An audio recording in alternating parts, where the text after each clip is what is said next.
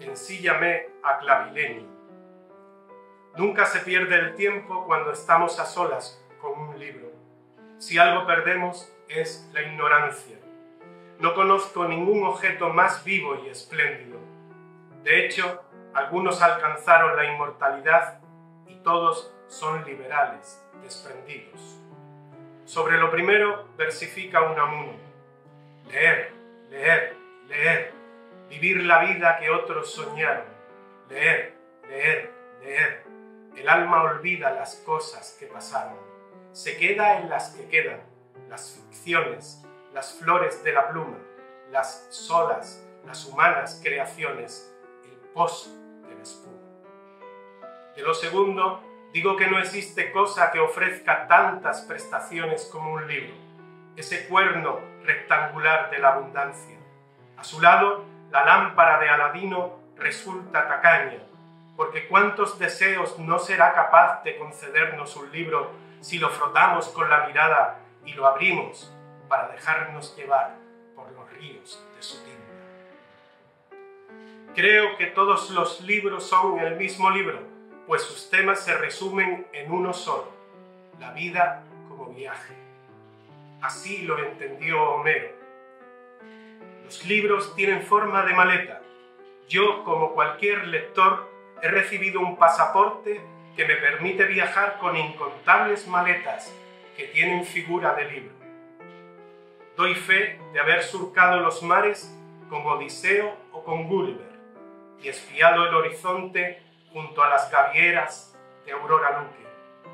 Alzo la voz con la Antígona de Zambrano o con una vikinga llamada Isabel Pérez Montalbán y llegué a la Baeza de Machado, la Argónida de Bonal, la Bleturge de Bono. Llevo tatuado en el pecho un endecasílabo de Francisco Bejarano. No es posible vivir sin lamentarlo. Quienes leemos estamos habilitados para dar la vuelta al mundo cuantas veces queramos y para enamorar, enamorarnos perdidamente de un personaje, como les sucedió a Vargas Llosa con Madame Bovary, o de un poema, como me sucede a mí de tarde en tarde. Así con este otro de Don Miguel ensíllame a clavileño, tierna sombra de Cervantes. Voy a buscar los gigantes de las ínsulas del sueño. Pablo Aranda, gracias a sus historias sobre Fede, ensilló a clavileño para que mi hija volara por los cielos de la literatura. El día que Pablo dejó su vida a medio escribir, Amélie extrajo de su biblioteca de viaje por el mundo firmado por el niño risueño que era Pablo, y se llegó a mi tristeza diciéndome, papá, vamos a leerlo juntos. Fue la mejor manera de seguir al lado de nuestro amigo, porque otra de las portentosas prestaciones de los libros es ser bálsamo para las dolencias del espíritu. Pero haced las maletas.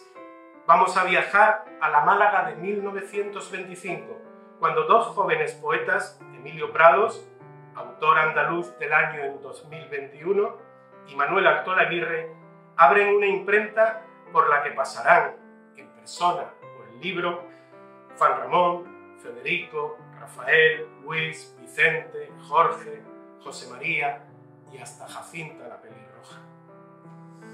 Una imprenta que tenía forma de barco y olía a papel, a tinta de mar, a madera de clavileño, a aire donde flota un no sé qué que queda balbuciendo, y de la que zarpó la revista Litoral, añadiendo más belleza aún a la poesía de su generación.